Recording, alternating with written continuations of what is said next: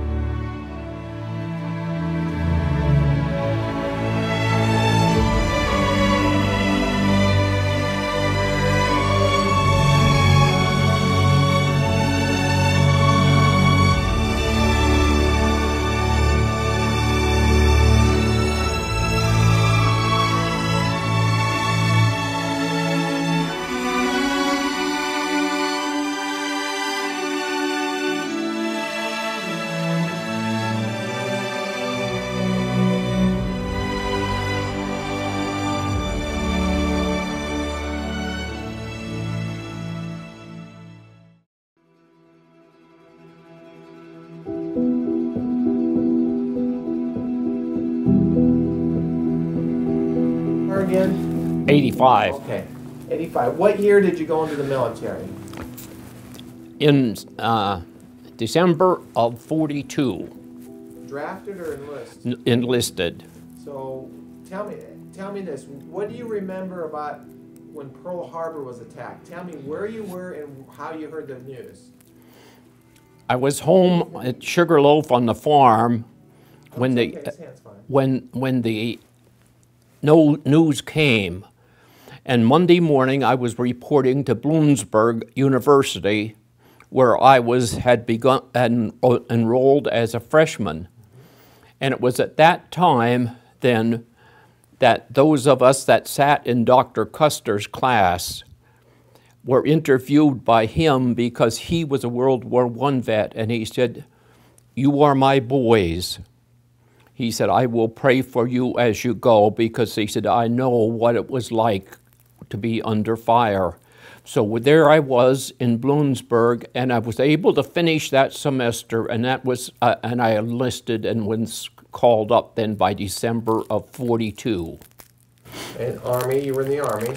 Yes. Where did you have your Army Airborne. Where did you have your basic training? I had, first of all, artillery spotter or artillery forward observer training at Fort Sill, Oklahoma for 13 weeks.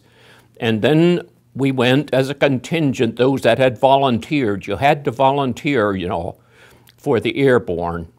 And while you were allowed $50 extra a month, it was something that was highly difficult and, and, and greatly uh, vigorous.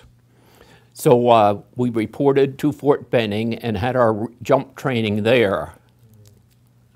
At what point, John, and you were what, how old at this time? 19. Wow. So, and you felt that same sense of duty to serve your country like a lot of young men felt back then? Yes, it was so strange. At Bloomsburg University, at the end of the semester, the current semester, following December 7th, it was unbelievable. It- the winds of war just swept over that campus, and largely by voluntary means, it, it just left it with almost all girls. It was, it was unbelievable, and we lost 26 boys and one girl in World War II that had volunteered. So, at what point do you go over to Europe? I mean, was it right after your training, or were you in the States for a while? Well, jump training consisted of four weeks, four stages to it, and uh, I won't go into those, but we learned everything about packing our own chute. And then after that, I took a two course, two week course in what we call riggers.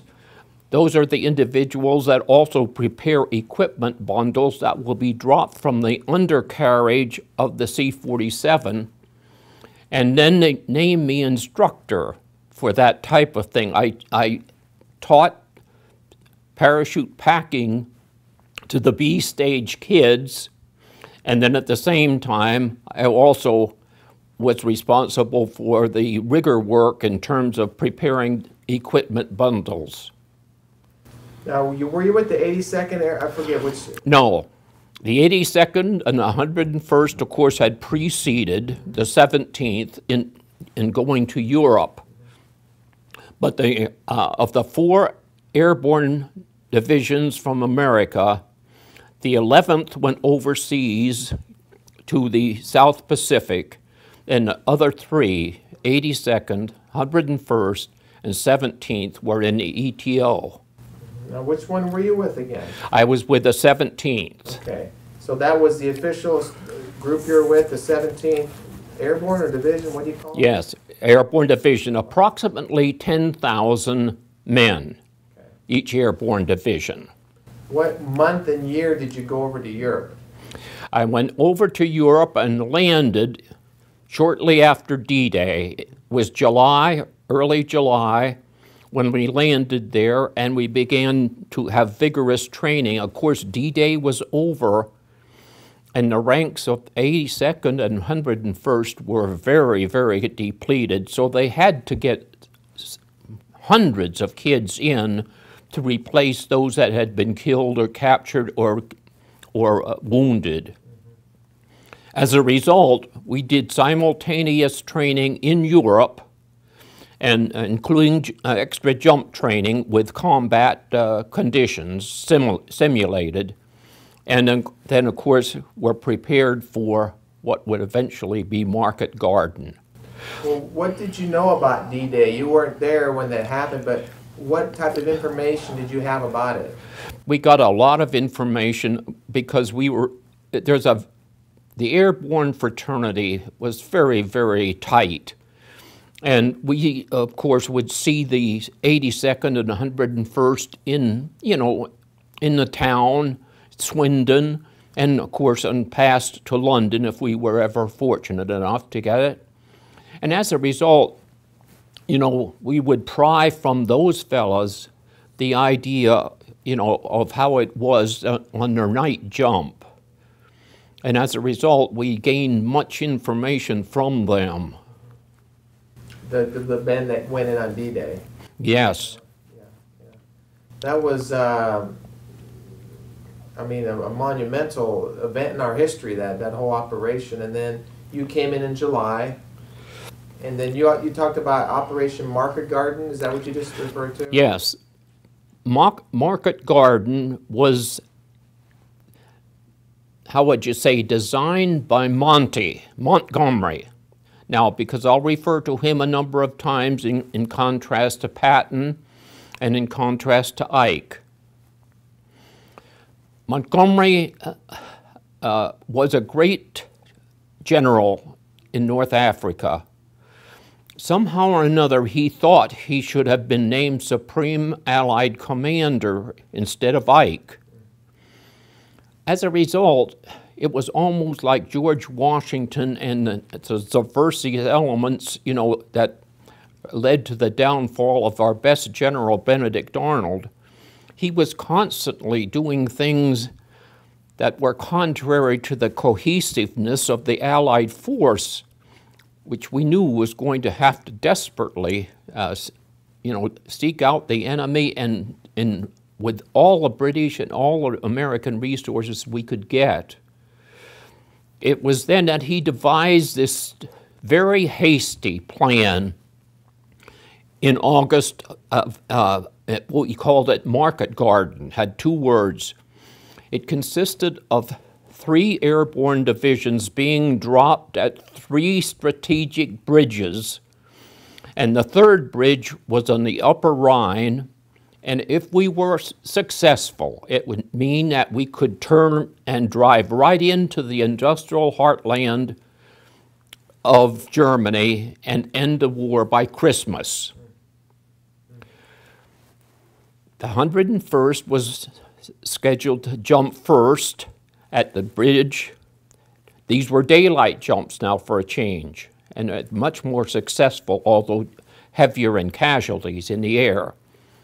82nd was at Nijmegen at the strategic bridge there, and the British Tommies, the 1st Allied Airborne Army uh, Division, uh, was the, at, going to land at the upper Rhine River and seize the bridge up there at Arnhem.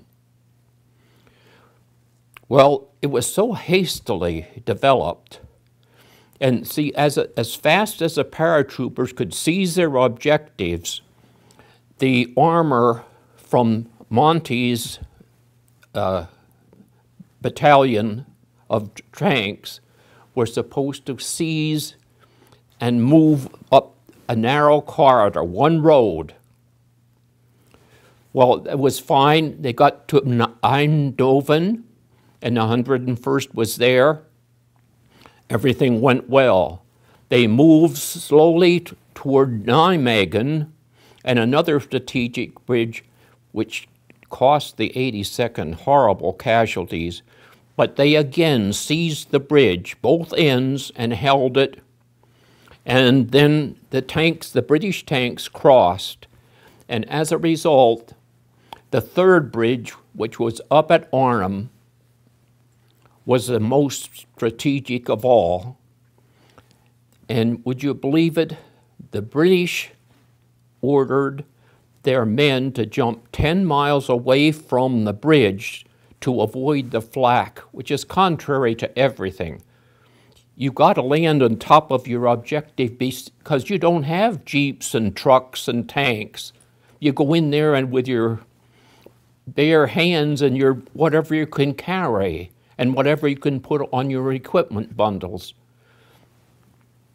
They never did get into the bridge, and oh, they slaughtered at least 6,000 of the finest British paratroopers. It's unbelievable that because when Anna and I were over in Holland, we met a man who was 19 at the same time that I was, and he was one of those individuals in a Dutch underground, and he swears that they had sent a wire to the British government that there were two panzer divisions equipped with, you know, 60 ton tanks being refitted in the forest there, was, which would not be picked up by an aerial photograph.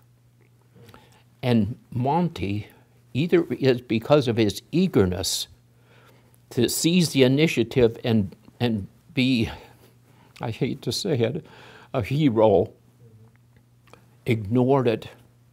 And it, we went up to Arnhem and 6,000 British Tommies and about 2,000 uh, of the Polish brigade that they put in as, at the last minute. We were in reserve.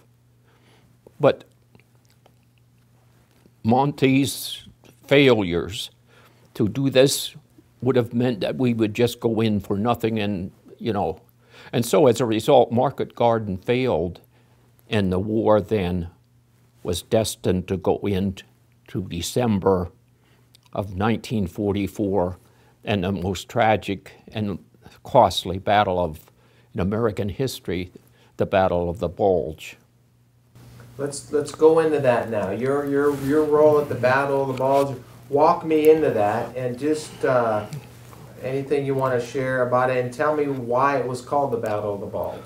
Okay, first of all, the Germans invaded and broke through our lines, which were continuous from the North Sea down to Switzerland, consisting of all of the varied armies, Allied armies.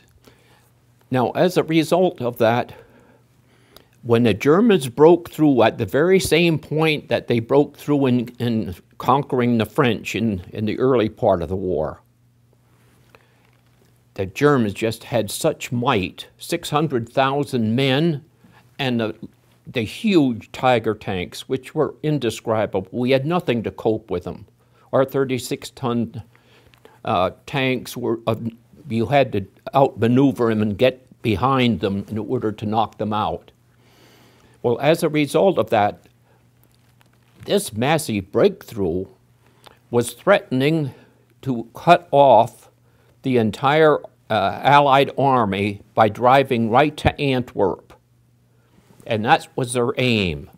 And then force an armistice because, you know, we had earlier said about unconditional surrender.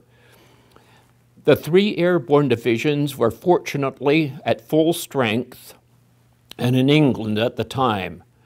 And in World War II, like the cavalry in 1876 for Custer, were the only noble, mobile forces that we had. And as rapidly as we could get C 47s, our planes, we were all flown into the three most strategic and weakened spots, and that therefore it would take our position. But we only could go in with what we could carry. So at the 82nd was a bit north of us, the 101st was at Bastogne, as you know, and we were south of the 101st, driving in, and we would be attached to Patton's Third Army. Well, you can see then that when we first met the enemy, we didn't have artillery support, even though I was an artillery forward observer and we didn't have air support. The weather was horrible, damp, overcast. Patton, in fact, put the plea out, you know, that prayer. Wasn't that kind of a guy, really, but anyway, as a result, when we moved in there, we just had to stop Tiger tanks to the, with the best of our ability. Malleable, hand grenades that were would stick to the track and explode, getting in on the side of the tank or on the rear ventilator, and bazookas. And we, the first three days that we faced the Germans without any air support and with no artillery support, I see the artillery came in after the infantry, parachute infantry, and after us uh, accompanying them as parachute forward observers. So it was at that point we lost a thousand kids in total casualties a day for three days out of our 10,000 men, just literally bringing that massive German armor to a halt. The thing that helped us so much at the end of three days was Patton's prayer, and the skies cleared, and the 761st All Tank Black Tank Battalion came to support us. We thought when we heard these tanks to our rear, oh, the Germans have outflanked us from Bastogne. We were not too far from Bastogne. And when we saw the first Sherman tank, we said, oh, they're ours, they're ours. And as a result, when they pulled in, of course, the hatch was down because hostile territory. The lead tank man from Harrisburg, Pennsylvania, opens the hatch, stands up, and we all looked at him in the deep snow.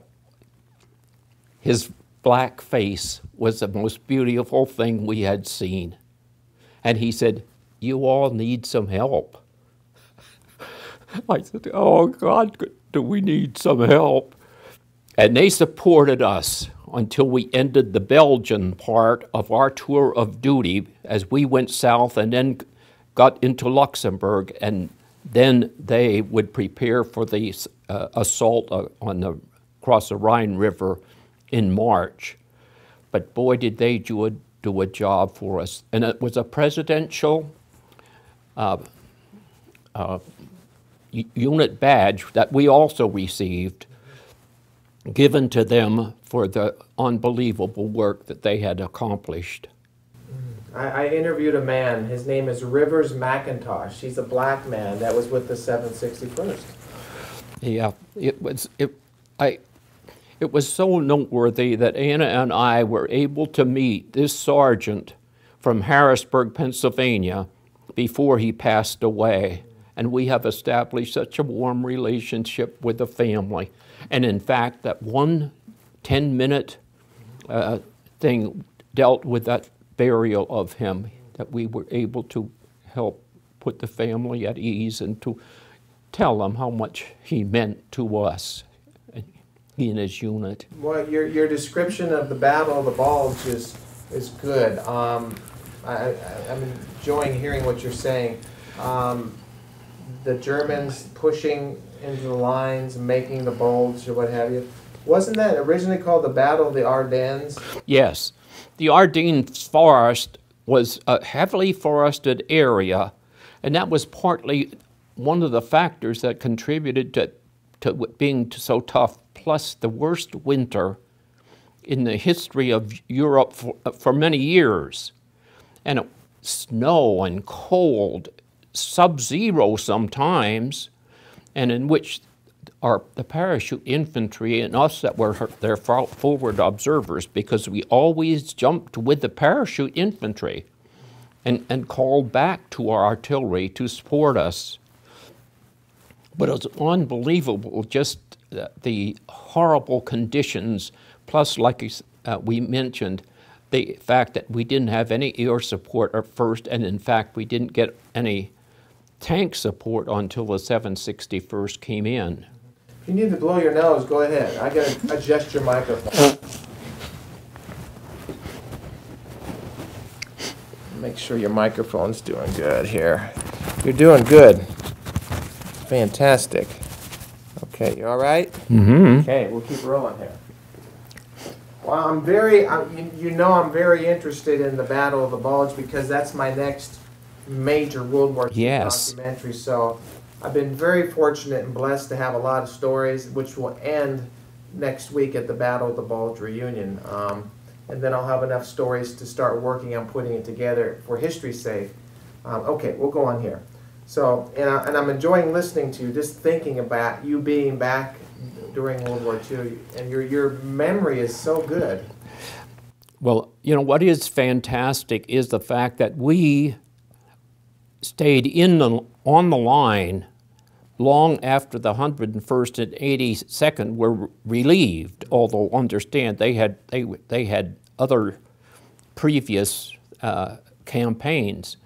But we were on the line for about 52 days, which meant, you know, we, in the 52 days that I was with the parachute infantry, the 513th Parachute Infantry, I was responsible to, for the 2nd Battalion as a non-com now.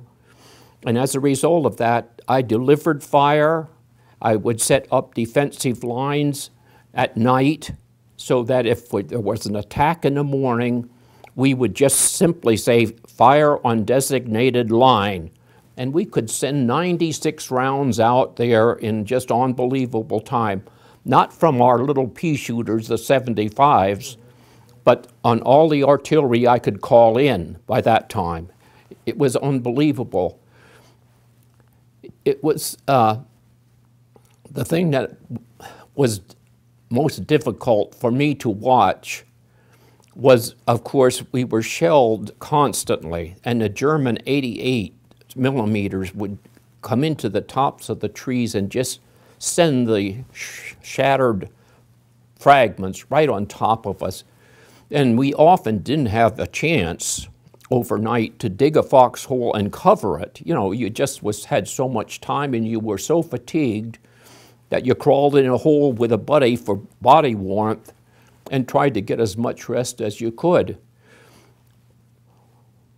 But the things that really bothered me more than anything else was that 20, first 24 hours when psychologically I saw one of our best officers and one of our best radio operators just go completely out of it, had to be evacuated, never to return.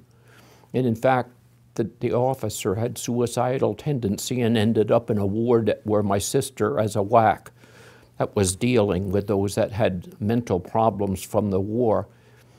The other thing that bothered me the most was, boy, when the shells, shelling would come in and we'd call medic,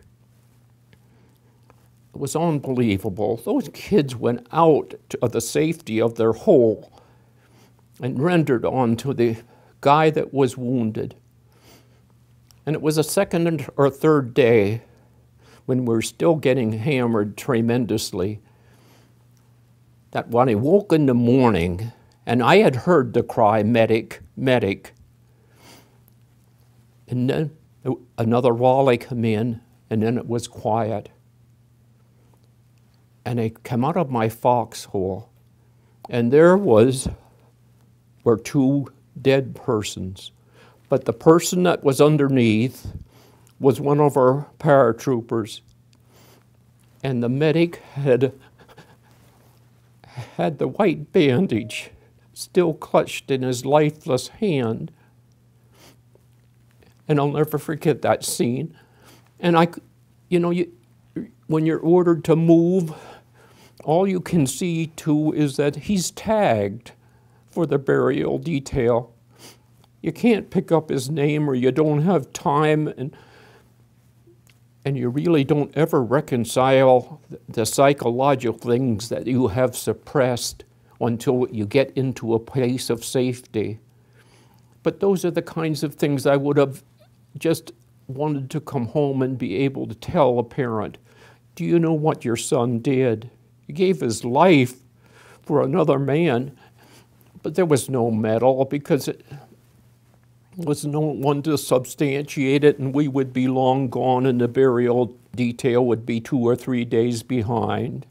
And the kids would be frozen stiff, and they would be loaded on trucks just like fodder and taken to the military cemeteries. I'm not trying to say we, we didn't do things right, but it was so difficult to realize that those kids that should have had some kind of special honor by the hundreds were overlooked. So as we would progress now with the 764 first supporting us and good artillery, then we began to take village by village by village. One of the things that our general, General Miley, Major General Miley, never given a lot of the orals that Gavin and, and uh, the 101st Commander would, but he insisted that we take the high ground before night would fall. He didn't want us to receive all of the horrible uh, artillery fire. And so, men, before night falls, we take the high ground. And one of the most challenging experience, you see, as a forward observer, I have to keep track. I'm right with the infantry, but I got to keep track of the enemy and lay down offensive before they make their charge, or else set up that defensive line to stop them from ever coming through. But it was so difficult in this one area because the kids, when I call them the kids, D, E, and F company paratroopers ran out of ammunition and they were supposed to take the high ground. And they called back and said, We are out of ammo. And they had the trucks could hardly get in because the roads were mined. And I said, I'll give you blanketing fire and stay ahead of you because you know, I could see all of this. I had to be able to see everything. That's why the uh, forward observers were, the casualty rate was 80% roughly. So I did that, and as a result, the officer, a first lieutenant, I can never forget that, called to his men, fix bayonets. Last bayonet charge of the ETO, and I was able to at least take the artillery fire up, but then those kids had to take the last of that with the bayonet. And Sam, he was the lieutenant that I knew so well. He was the one that led them, and of course he was he was wounded in the in the attack. But that's the kind of fortitude and the kind of cohesiveness and esprit de corps that was part of Airborne. We didn't know everybody, but we would lay down our lives if necessary for each other. And it was just an, an, an intangible that was indescribable. I'm not saying that other units didn't, but the airborne fraternity, because of the kind of drastic and very difficult training, just closed ranks. And as a result, you know, it was something to see. Now you're a forward observer, is that correct? Part, yes. Forward observer. What's your rank at that time? I was a corporal. I, when I left Fort Benning, I was a training sergeant, and they said, You don't have to go yet. I said, Well, there, somebody has to go from our rigger outfit, and the other two fellows are married with children. They said, We're going to bust you down to a T5. I said, Well, that's the way it is. Because, you know, they would come around and say, Tomorrow, one of you will have to go. And I didn't want my buddy Barney to be one of them that would have to go when I was single, even though we were engaged. The battle, the Bulge, lasted about a month, a little over a month. It, if you, in some ways, it lasted from December the 16th to fe about February the 15th when the, when the thaws came. For us, it ended on February 15th because you see, once we had reached and pushed the bulge out and had met the troops driving south, we all wondered what was going to happen. Well, we went, got on trucks and started out, and we sort of headed south. And we kept wondering, where are we going? We stopped at a place, I forget the name now, and they said, Everybody out and shed everything from your stinking underwear to overcoat, just filth and nothing. No changes except our socks to keep us from getting frozen feet or trench foot.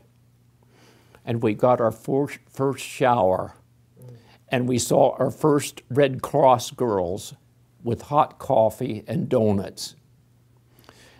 And we thought to ourselves, well, maybe we're getting civilized, uh, you know, I mean, in terms of smelling each other. Thank goodness it was cold because, you know, it was unbelievable 30 days without any kind of change. But as a result, we got on our trucks and we knew when we saw the castles, we were in Luxembourg, the little Duchy of Luxembourg. And there we had to crack the Siegfried line down at the Our River. It's never been known that we were into Germany before any other unit. The 513th as, as a unit, and me as a forward observer. But you see, then at that point, we were going into February. And when the thaws came, and they revealed places like Malmedy, where our prisoners of war, and there were so many that were captured, you know, when Germans made this massive, they were either bound or just mowed down. And when the snow melted, here were all the olive drab boys. So it, was the last thing, in a sense, that we needed. And then we were sent back to Chalons, France, because we were selected to be the unit to jump with the British 6th Airborne Division to get our troops across the Rhine. Okay, let me ask you, I can't remember in our correspondence if, if you were involved with liberating any of the concentration camps. That's the interesting thing about the 761st. When we were we parted our ways with the 761st going up and supporting another unit, and we made the curve down into Luxembourg. We have that on our chart. Now, as a result, then, everybody was stymied. We had all of our troops on the West Bank and Germany, of course, it was on the East Bank, and they vowed, as well as Hitler, that you'll never cross the Rhine. Because they said no, no one accomplished that since Napoleon in 1805. So we knew we were going to have a major problem because we wouldn't have any French or Dutch underground to help us it's very important in, in an airborne operation. We, we, knew we were going in there, and we had to consider every one of the German civilians as someone that might kill. And so, as a result, Ike and Churchill, I don't know how many people realize that, came up to the west bank of the Rhine. They could have been shelled with long range uh, German sh shelling and they watched our convoy going in, and it was 250 miles long, the caravan of C 46s and C 47s and gliders. You see, we had two glider units too. And as a result, we jumped 10 miles east of the Rhine and we were to drop and set up a big perimeter defense with the 6th Airborne and that would protect the Rhine so that our kids would come across on invasion barges, just like they would have invaded D Day. And we never lost a man coming across there because we were able to hold. It was interesting that the two airborne divisions faced about 80,000 German troops that were trying to get in so they could block the Rhine. It was the bloodiest single day in airborne history when we went in on Operation Varsity, March 24, 1945. But it was the most successful. And of course, as I said before, Ike and Churchill watched this caravan going over and its massive structure. And Gavin, who was the head of the 82nd Airborne and a great airborne commander, sec second to ours, our general, he was in a B 17 and he watched this whole thing unfold. Of course, he has, uh, had always jumped with his men, and it was the first time to watch the massive, unbelievable spectacle of thousands and thousands of parachutes and gliders coming in and then holding against the enemy. So, so you see, that was very important. And at that point, one of the units, now can you imagine? Fate, or whatever you want to call it, coincidence. One of the first units across the Rhine to take advantage of the safety of our perimeter defense was the 761st and they knifed right deep into Germany as fast as they could go and liberated the first uh, concentration camp. You know, there was a very poignant special done on that because it was so interesting the fact that they realized that they were not going to come back to America as an equal citizen, and yet they were freeing these people and they had served so brilliantly. So it, uh, they went that direction, and of course, after we held and get, had all of our troops across and they were moving toward the heartland of Germany, we hopped in the back of British uh, Churchill tanks and took off uh, on one particular road, which finally led to my personal disaster at, at Munster, Germany, and our lives being saved, in a sense, by that German Frau. But it, it, it's something as we, we, we couldn't get over the fact that when we saw the tanks mark 761st and they were moving through and, they waved as they knifed into Germany.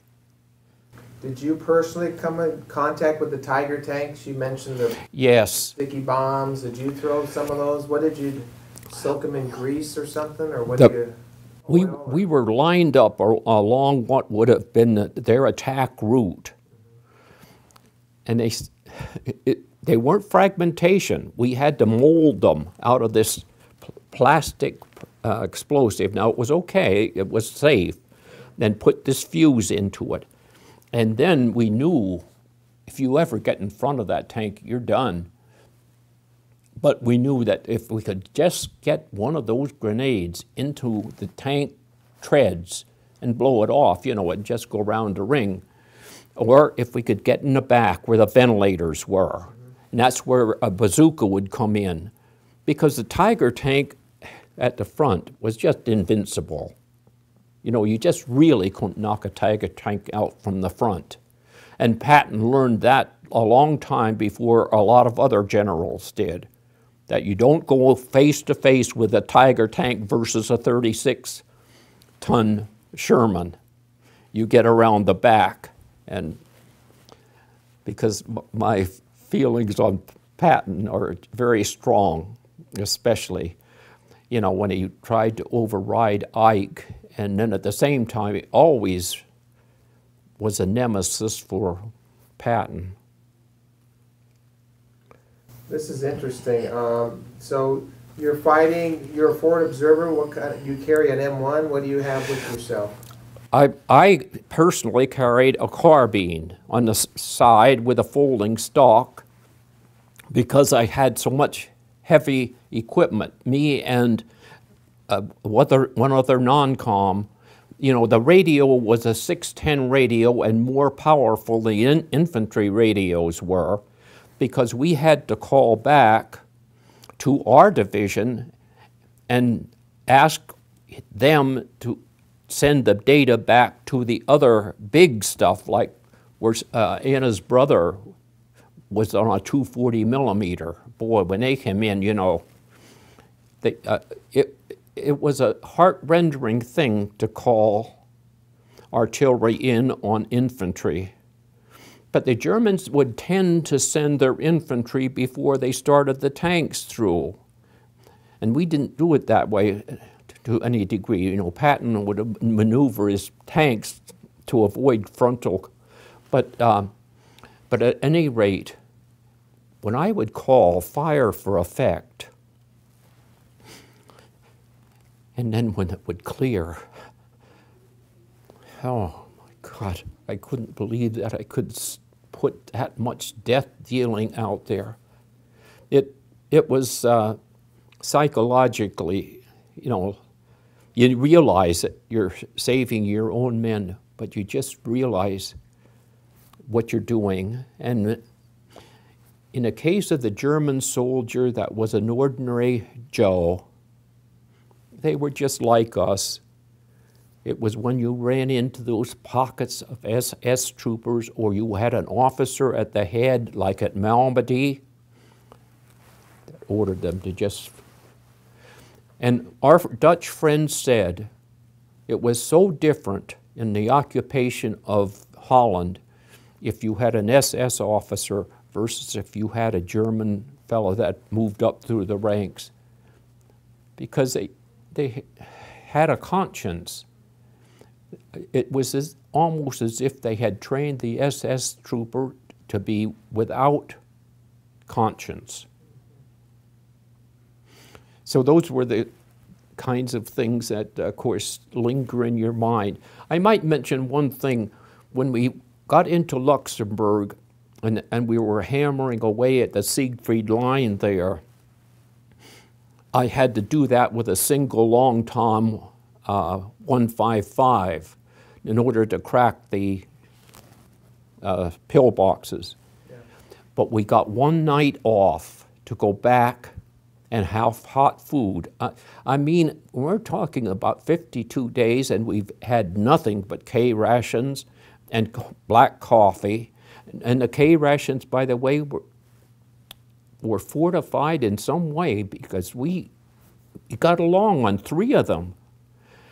And uh, it was unbelievable. But anyway, we got a day back at Clervaux, which was a parcel city in, in Luxembourg. And we were upstairs and it was warm.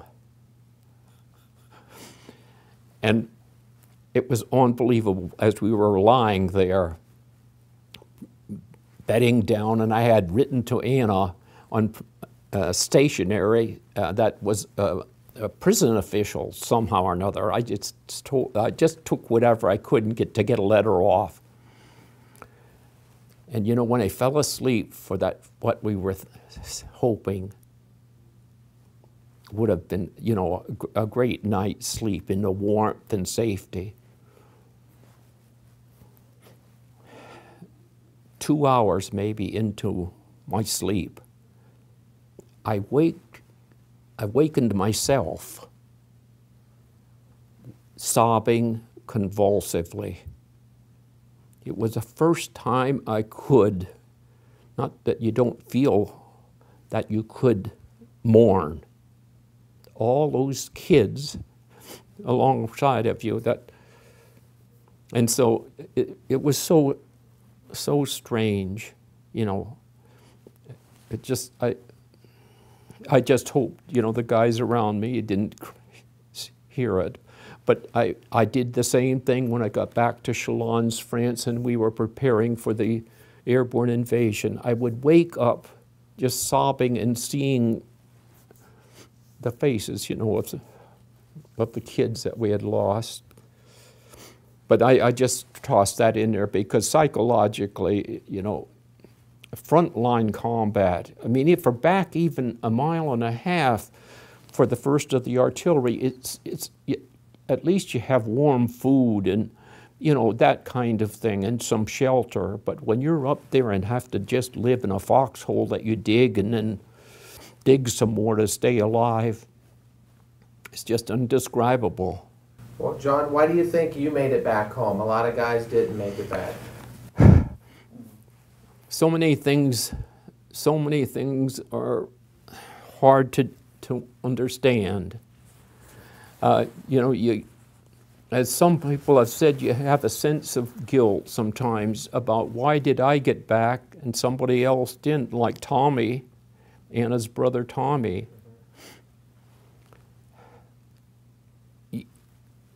Of course, it's important to be vigilant. It's important to take care and realize that you don't get off the beaten track in terms of booby traps and stuff like that. But you, you, you do also know that you have to go ahead and do things, you know, when you're going to take the high ground or whatever it is, you know it's going to protect the outfit from being shelled harshly. Just the different times for instance, when we finally culminated in, in end of the bulge, we met the British Tommies, and we sat down and we broke open a case of condensed milk. Never enjoyed it so much in my life. In fact, I don't think I ever drank condensed milk. And we were drinking this condensed milk, and all of a sudden, a German shell came in and seriously wounded both the German Tommy and one of our guys. Well, my officer, I, I had only one bad officer. Well, I had encounters with two because the airborne officers always jumped with their men and by and large were excellent. My officer during the Battle of the Bulge uh, was not. I mean, he didn't put his men first, and uh, I could go into great detail, but he, uh, it wasn't our Jeep, it was the engineers that had just cleared a roadway into us. And a truck was able to come in and have these, uh, you know, we got some rations for a change. But you see, it, he ordered me to take the Jeep and take these two wounded men back. Now, of course, we knew that they were desperately wounded. And it wasn't a question about that, but I said, Lieutenant, I said, wouldn't it be better if one of the fellows that came up and cleared the road would take the Jeep back? He said, Corporal, you're taking it back. Well, we, night was coming, the engineer came up to me and said, Boy, Mac, please watch at one of the curves because there is a cluster of mines over to the right side, and there's a German sign that says Minen, M I N E N. Well, as we were going, we were get, getting shelled, and we were going just as fast as we possibly could. I never saw that sign, and I said, something, something caused us to, to miss that as we made the curve in the road in the midst of shells coming in and all that. That was one, because I, we did get the two kids back. He never reported that, though. He never reported it as far as me and my buddy taking them back under fire and saving their lives. At Munster, where finally the, the incident with the German Frau, my success in laying down fire to help the fellows in D, E, and F companies of the parachute infantry, I, I had responsibility for three companies. Wow. We got into, into Munster, and we were just we had found uh, eggs in what the Germans called sil uh, silica uh, water glass in a barber shop. And oh, we hadn't had uh, eggs, and they, we were halting there, and, I, and we are just getting ready for a, a, an egg fry and a call came out that E Company, one of my companies, was pinned down by an SS unit that had set up a perimeter defense with 11 uh, ground 88s and a captured Sherman tank. And they had, they were dedicated to fight to the last man. Uh, strength, perhaps a hundred and some. they called us in the artillery, and I and the, and the radio operator and the officer at first, my, a different officer, by the way, on our Operation Varsity. A good man, really a good man. Smokey was his nickname. But at any rate, he, uh, we went out and we had a quick reconnoiter with a major who was in charge of the battalion. And we sat there and mapped out very quickly, very, very quickly, that I and our, my crew would go up to the front on the left side and get within 150 yards of the SS position. Mm-hmm. And then they would quietly come in behind and line up well behind me and wait down uh, flat while I would ask artillery to come in and then adjust the fire and just blast that outfit into oblivion. Well, I had just sent the sensing back, used the coordinates, and they were able to tell the distance. And I asked for one round of smoke, which was white phosphorus, so I could see where the land went, not to hurt men, but so you could see where the, land, uh, the, the first shell hit. And I had just made the adjustment. And to this day, I'll never forget, that same officer, the major, stood up and fired his M1 at a German soldier he saw, a German SS trooper, that he saw in their enclosure.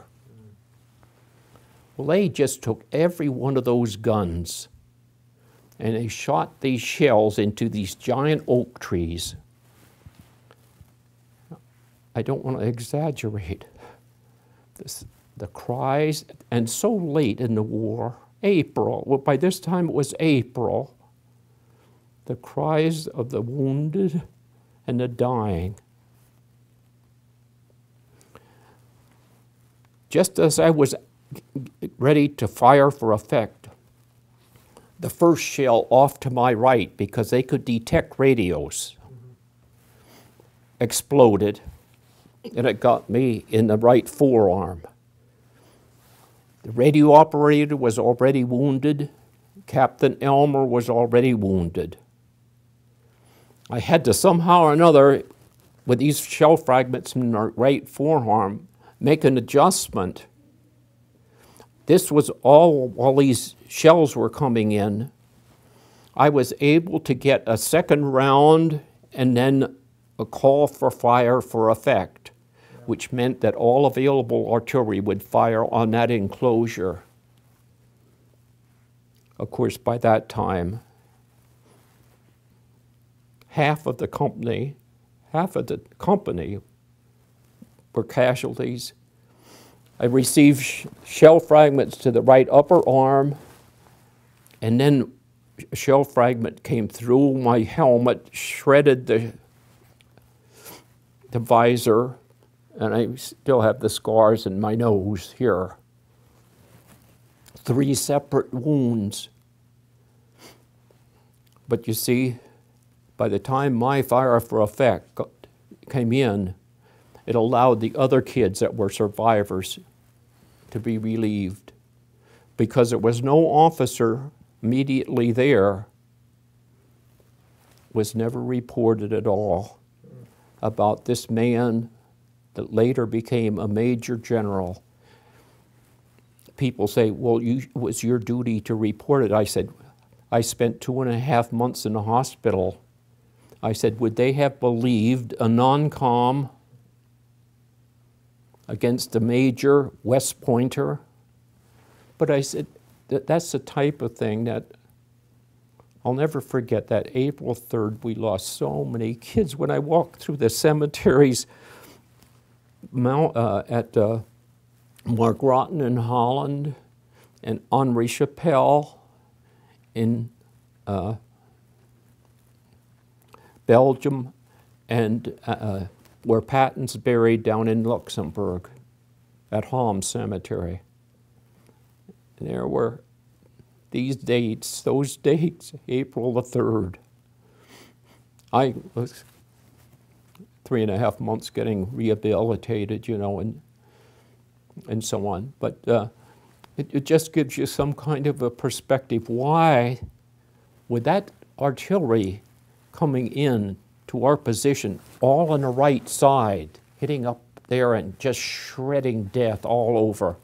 And I get, I was, I was wounded seriously, but I wasn't, I wasn't killed. So you know, and and the same with uh, when we jumped. By the way, I, I do do need to say this if this if, if I have time. For the first time in the history of the airborne, in order for us to go in one time and not like at Market Garden, we jumped from C 46s and C 47s simultaneously. We in the infantry and the forward observers jumped from the C 46s, and we had never been trained to go out a left door. I'll tell you that was traumatic because we had when we were trained in the C-47s to go out the right door, it became second nature to you. You didn't have to think about that. You could think about survival. But when you went out the left door with the bigger props on the C-46, holy smokes. It was, you, your opening shock would just pulverize the capillaries in your arm and in your groin area because if you didn't have good body position, and it would when when your chute finally opened, and would just whip you uh, unbelievably. But that when my chute opened, we came in at 450 feet, and all the flack was indescribable. I grabbed the front two risers, which had seven suspension lines each, and I just hauled it down and held it down, which means you go down twice as fast as if your chute is totally open. And I got down through this screaming shrapnel up there. Left just before I hit 50 feet up, I left the chute open up and hit. But it was those kinds of things, you see, that some of the kids didn't think about. Well, when I went out the door, I saw limp guys just hanging there. I saw one chute in which the kid must have hit his circular disc, and it was empty. The chute was empty. They just found a couple of our kids. You know, if, if the chute didn't open, it could go into a swampy area and just because of the you know awful dimension. But as I said, it was the bloodiest day in airborne history, but it was the most successful because we followed so much the kinds of planning that we had always done. Wow. And th that's why I have a hard time forgiving Monty for the kinds of things he did when he sent his beloved paratroopers in there to Arnhem, and we walked around that cemetery just not believing that this could have occurred. A lot of casualties at the Battle of the Bulge. I think the worst battle we've ever fought, other than the Civil War. Oh, yeah. But what, what was the result of the casualties? You mentioned your airborne casualties, but the ground troops just I mean, was it just artillery, small arms, a combination of all? We lost a lot of people a lot of them, to my way of looking at it, didn't have, did not have the benefit of officers that were so keenly aware of the kinds of things we should do. Now, understand, I told you I had this problem with the one. And not only that, but serving under Patton that is a psychological experience that I will never, never forget. He would turn up at the darndest places in just a, a lacquered helmet liner and pearl handled pistols, just as if he was you know, braving. And, and I, he did something to kids. You know, you didn't too often see many generals up at the front, yeah. except in an airborne operation. But it, it was so uh, unbelievable. And like I say, when, Gen when General Miley, our division commander, and, and General Patton came up, you know, guys, anybody that saw them were believers, even though uh, Patton was controversial about his slapping that soldier in Sicily. But he, he was a good man. If he would have been supported in August when he had made this magic and powerful sweep through Europe, and the Germans say that. We met many of the German officers either through our association or through the three trips that Anna and I made. And they said, we, we couldn't believe that they held Patton up at uh, Montgomery's bidding. He wanted to straighten out the lines. You know, he is that kind of guy, set place. He had to have everything. He, he would have gone right through. And we could have dropped the five airborne divisions two British and three American right at the Rhine, and the war would have been over by August or September. Hold, hold on a second. I'm going to change the tape. I normally would stop right now, but I'm going to go just a little longer, okay? Mm-hmm. I want to ask you a couple follow-up questions. So I'm going to. I asked you why you came back, and obviously you're you believe in God. You're a Christian. Um, during the war, what got you through the tough times? Was it your training and your faith, or a combination of both, or, or what got you through those tough times? It would have been both. Uh, reared, raised, and reared in a uh, Christian home with two other uh, brothers in the service and a sister. And of course, having met Anna in high school, uh, that, those were some of the bolstering things because just writing and whenever you could and just the feeling that somebody was cared and was writing and was praying for you. Uh, I carried a testament. I had a little long here, but uh, I had two in, in, in two, the two different operations. But one of the things that was most notable to me was in January the 3rd, when perhaps we had one of the most vicious attacks by the Germans. And I had to call this massive artillery in, and we had dead German bodies out in front in the snow. And in the foxhole, I just kind of mentally noted that the Belgian time and the differential in hours, six hours, that mother was at home and Anna was at home and they were praying. And when I got home, in the one testament that I had given her from Fort Sill, Oklahoma, she entered in the flyleaf that on this certain date of January the 3rd, which would have coincided with my worst time during that night, she had lifted up these special prayers because somehow or another she was wakened by something.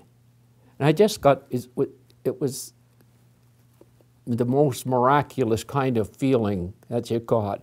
And all of the uh, different times, and, and, you know, for us, for instance, 24 of us were lying in those bar, uh, the uh, house, German house, and everybody in their haste to, to take care of the enemy and everything else, no guards were left there.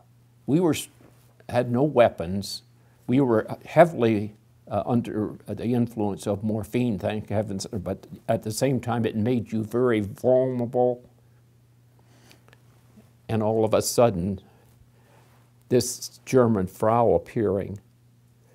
Those are the kinds of things that you just, and for us to accept her cup of coffee, see, was really contrary to everything that we were told. Don't, you, not that you would, they wanted you to do anything wrong against the enemy, but don't take anything for granted, men, women, or children.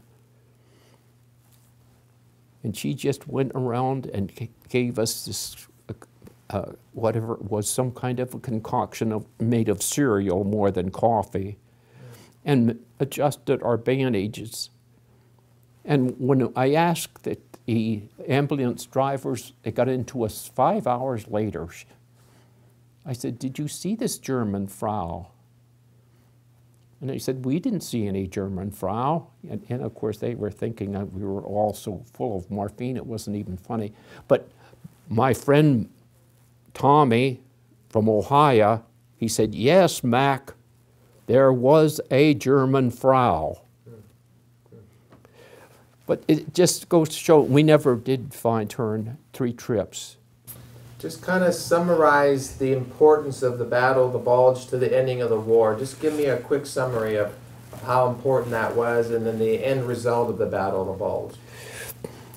I would say the stopping of the German thrust, which would have driven right to the North Sea and cut off everything from the North, uh, uh, the 1st Canadian Army, the 2nd British Army, the American 9th Army, and the American 1st Army. We'd have had everything split, and it, then would have come the cry at home because of the casualties. Give them an armistice just to end this whole thing. We could have lost the war in a sense as far as being able to occupy and properly deal with the German occupation.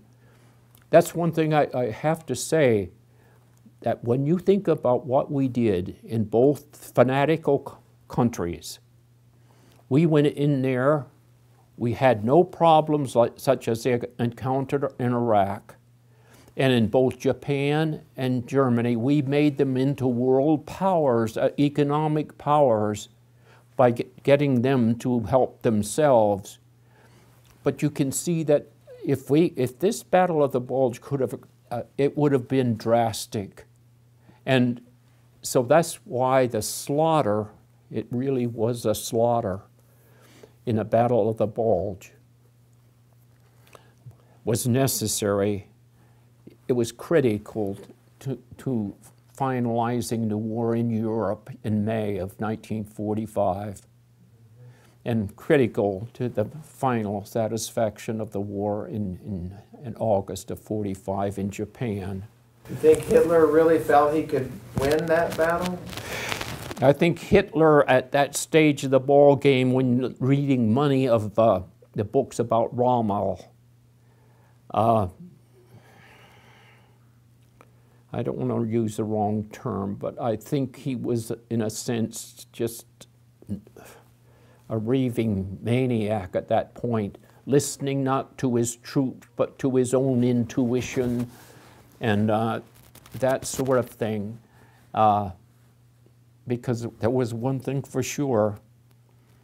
Uh, those that fought against Rommel realized that he was a, was a genius in the art of warfare and the, the high respect that they, they had for him, even though he was, you know, the enemy. But it was so important, I think, and people don't realize how important it was that these kids st stood there and stopped the Germans, sometimes with literally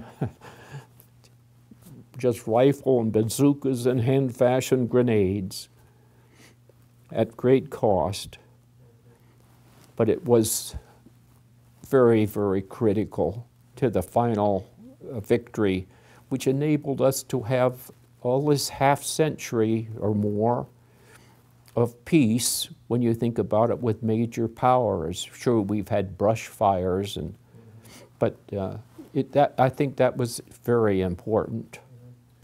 I'm gonna adjust your microphone one more time. I've only got two, I think a couple more questions and we'll be done, okay? Sure. Okay. Okay. All right. I- You know, being a veteran of World War II, John, and an American citizen, what is what does freedom mean to you? And tell me about the price of freedom.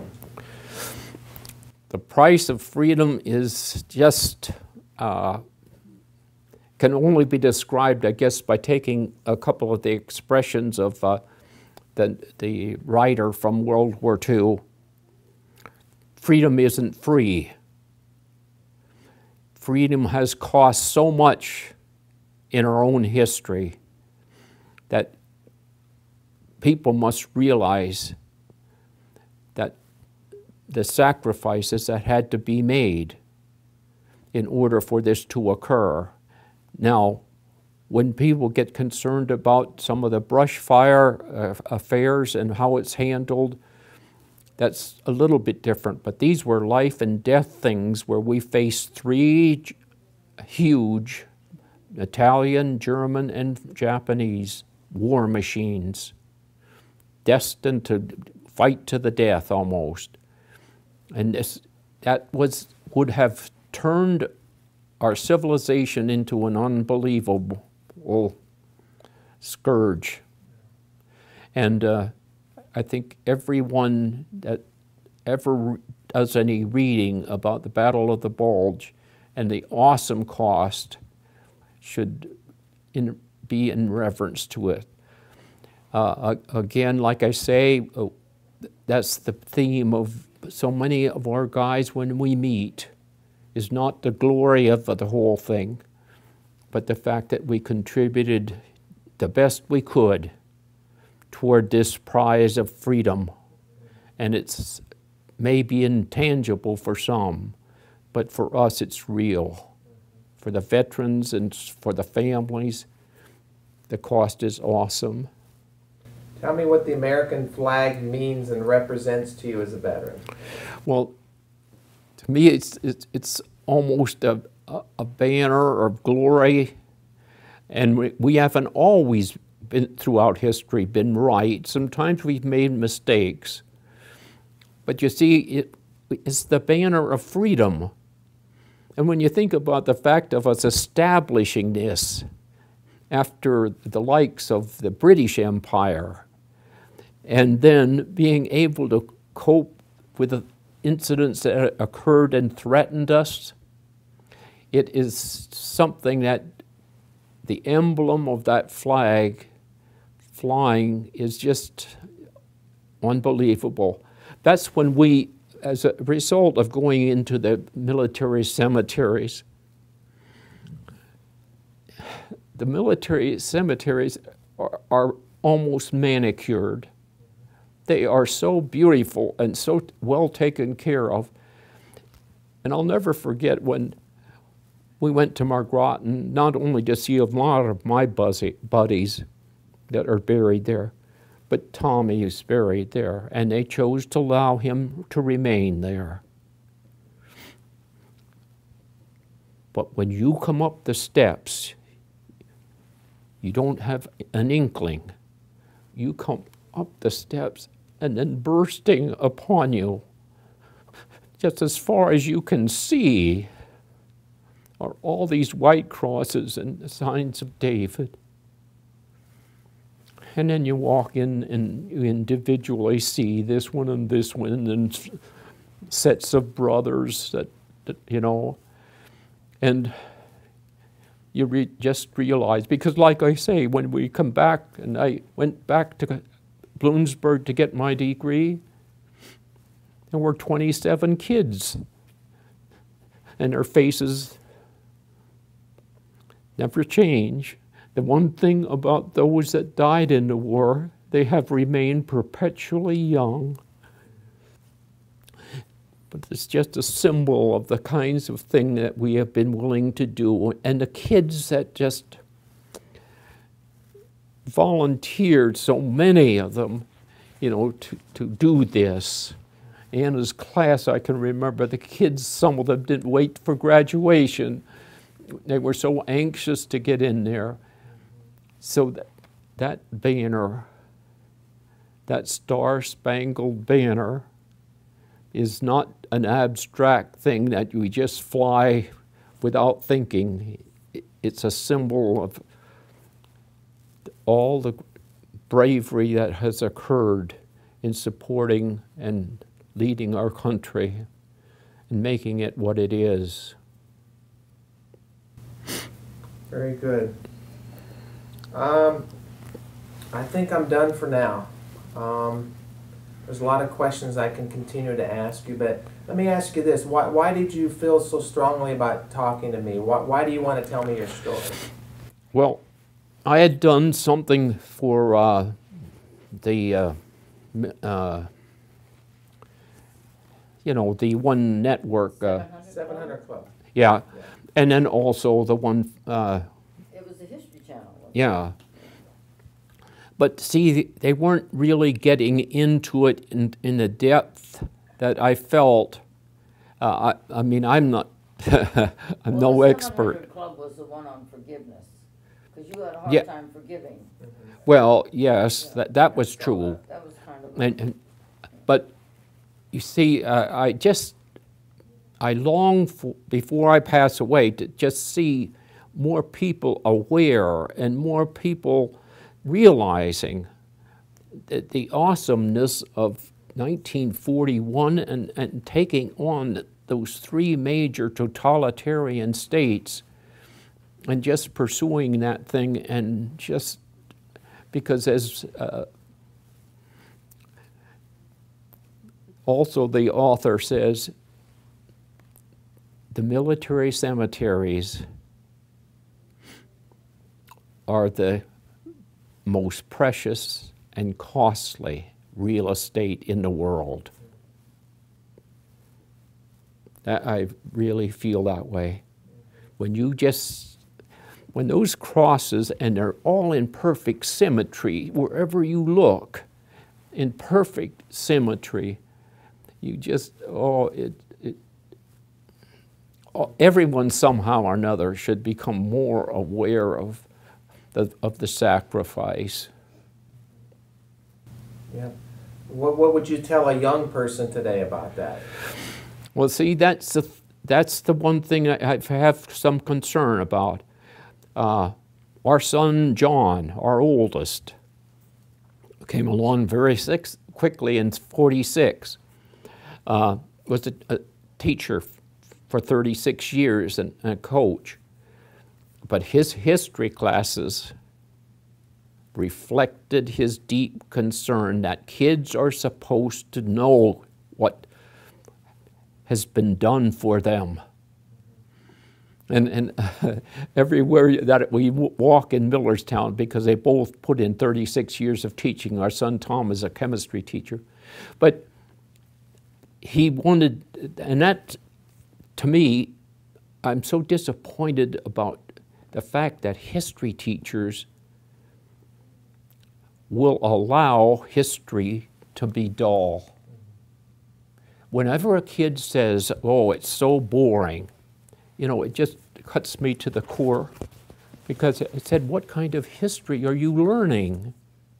Not that you glorify war or, or anything of that sort, but you have to know that what you have today here in America is a result of kids that were willing to lay down their lives. And that, that we're not doing. We're really not doing that. What do you want to be remembered for someday when you're gone? Well, I would just hope, and that's the only thing that drives me. And uh, sometimes uh, I, thank heavens that Anna's, Anna's willing to uh, go along with me. Uh, I, I just want my children and our grandchildren and our great grandchildren know that Papa cared. They all call me Papa because it, it is so it is so crucial. See, my mother was German by background, and her father, my grandfather, would tell me as a 10 year old, he died in 1935, he said, I watched, he was a very stern kind of, he scared me at first, you know, until I got to know him, you know, you know, kind of a gruff German. But he would say, I can still remember my brother. I was 10 years of age and he was going off to the Civil War in 61, 1861. And he said, He went up to that highest hill over there, John. And then he turned around because he was walking to a train station over in Nescopeck.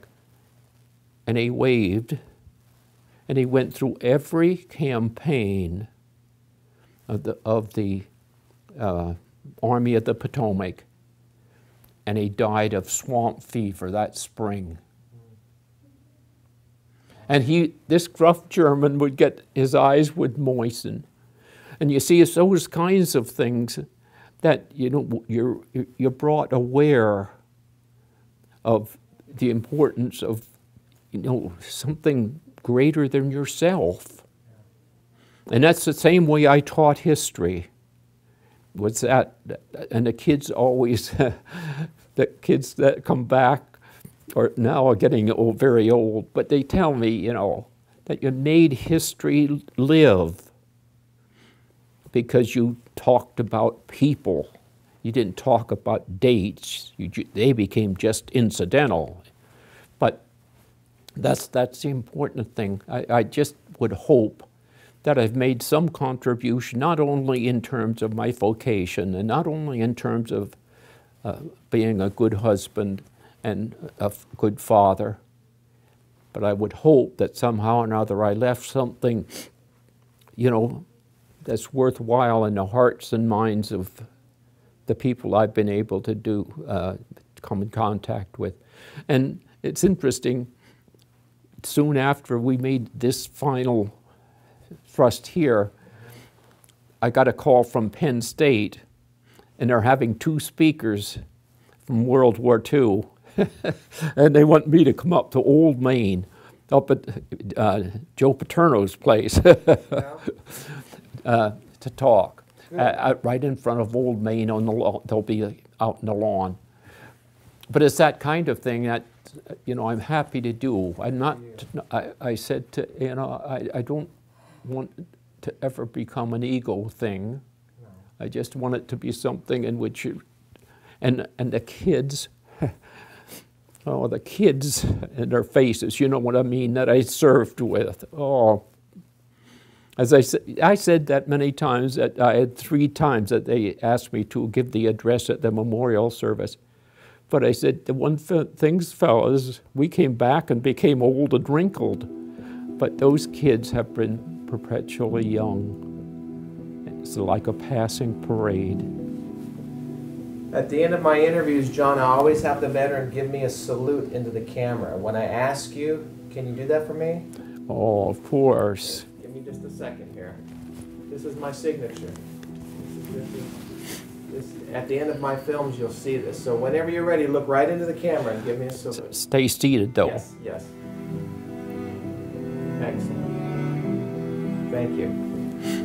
Very good. I'm going to take a picture.